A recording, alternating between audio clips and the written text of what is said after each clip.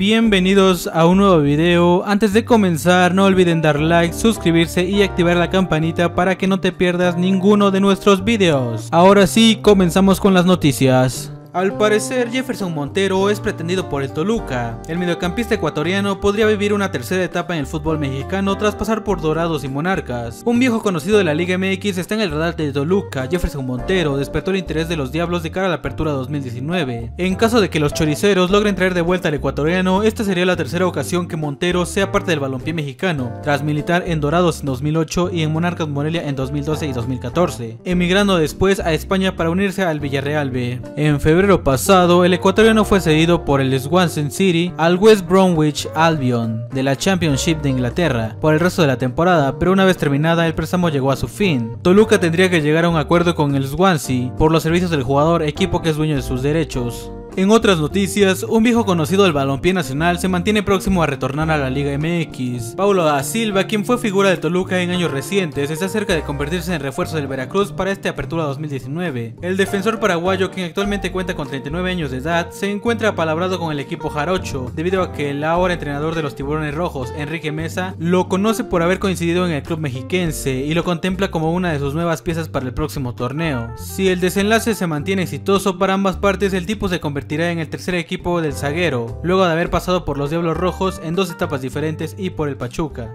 Un rumor que se está dando es que el Real Oviedo de España apunta al fichaje del Quick Mendoza, su inminente salida de Toluca y sus mínimas posibilidades de ser tomado en cuenta por Cholos de Tijuana tienen a Luis Ángel Mendoza como uno de los peces gordos del mercado de fichajes de la Liga MX. Y es que a pesar de ser dirigido por Ricardo Lavolpe en Jaguares de Chiapas, el Quick no encontró regularidad en Toluca, por lo cual analiza sus posibles destinos para el siguiente torneo. La cadena Univisión Deportes dio a conocer que el habilidoso futbolista es buscado por Monarcas Morelia y Gallos Blancos del Querétaro. Los dos equipos que tuvieron un semestre para el olvido buscan fortalecer sus planteles. En los alrededores del estadio Nemesio 10 trascendió que el director deportivo de los mexiquenses, Jaime León, está intentando convencer al técnico argentino de mantener a Mendoza, pero saldrá a otro equipo ya que tiene al menos tres ofertas, una de ellas de España, mencionó. Otra opción que en el papel luce más atractiva es la de Real Oviedo de España, el equipo propiedad de Carlos Slim, quien desea tener un mexicano tras la salida de Osvaldo Alanis, quien regresó a México para ser refuerzo de Chivas.